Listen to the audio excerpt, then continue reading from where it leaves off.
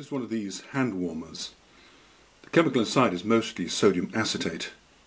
When you create a nucleation center by clicking the metal disc, that causes the crystals to form, so you get sodium acetate trihydrate.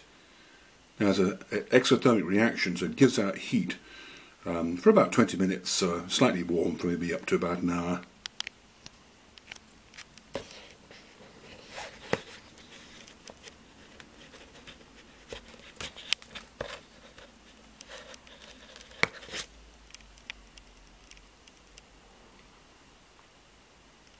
This reaction is reversible.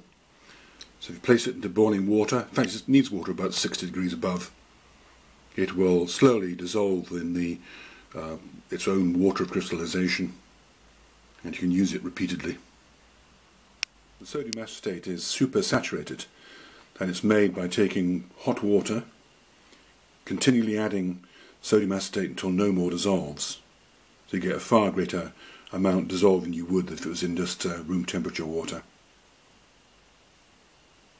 Purified water is used to make it.